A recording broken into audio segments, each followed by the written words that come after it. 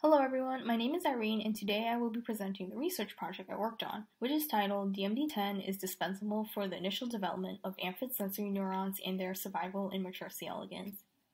So just to start off with some background information, neuronal communication mediates our daily behaviors and responses to environmental stimuli.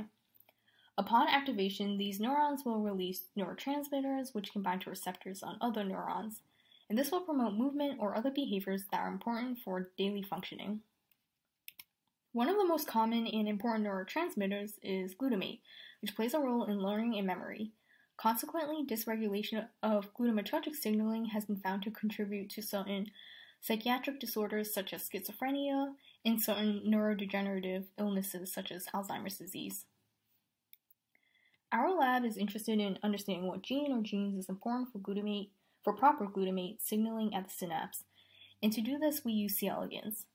The reason why C. elegans are valuable model organisms to work with for this research is because they will allow us to perform less time consuming yet informative behavioral assays that provide information on eating, um, mating, chemotaxis, and response to negative stimuli. So we will be able to quantify these behaviors. They also have a fast reproduction rate, which means many samples can be generated within a short time span.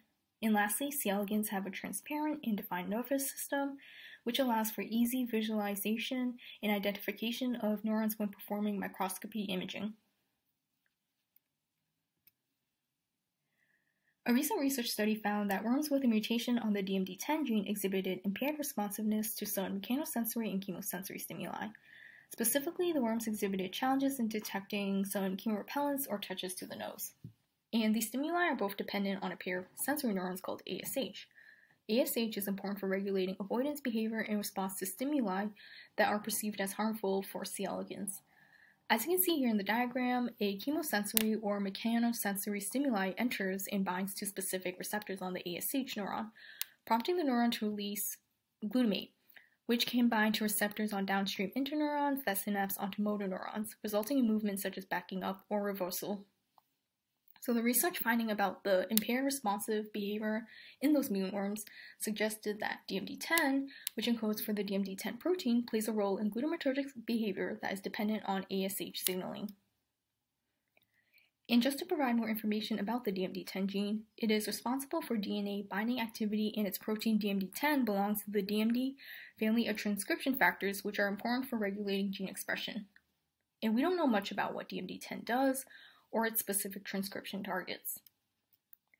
Based on the observations about downregulated ASH mediated behavior in the DMD10 mutants, it is possible that there was less glutamate release upon sensory stimulation in the mutants. Many factors could explain this. One we hypothesize is that issues with the development or survival of the ASH neurons could potentially account for the impaired behavior that was observed in the mutant DMD10 worms. We tested this hypothesis by counting the number of ASH neurons in the mutant DMD10 worms in using a fluorescent dye. The dye intercalates into the ciliated dendrites of the neurons and labels their plasma membrane. So I first transferred worms from the plate to an Eppendorf tube and then added a buffer solution and the fluorescent dye. The Eppendorf, the Eppendorf tube was incubated and then centrifuged so that a pellet of worms could form at the bottom. The worms were then transferred to a cover slip and a slide containing a drop of agar and paralytic was applied on top of the slide.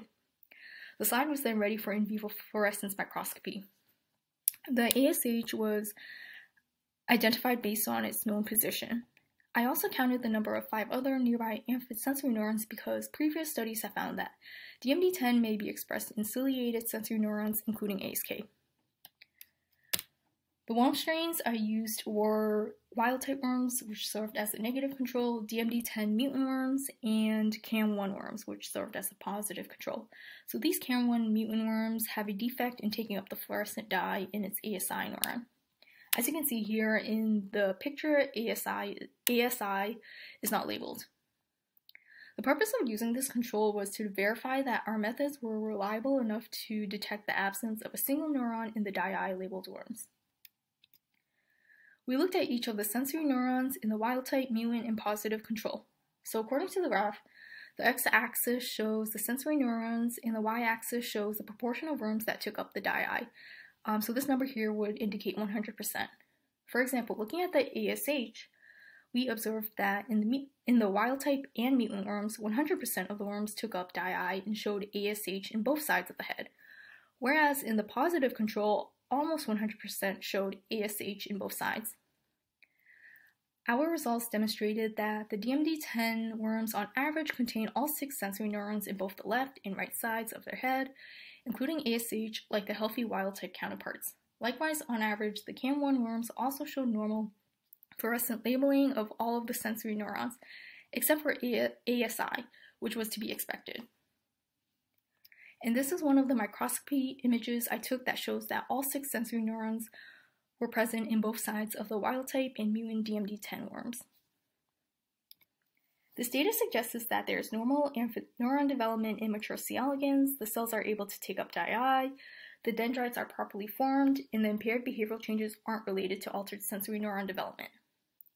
Since we were able to confirm that AS- ASH is intact in the worms, the abnormal behavior could potentially be explained by an impairment that interferes with the release of glutamate or with the binding of glutamate on the interneuron.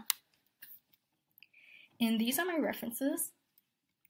Lastly, I would like to thank my PI, Dr. Eric Luth, and the Undergraduate Faculty Student Collaborative Fellowship Grant Program at Simmons for their support. Thank you for listening.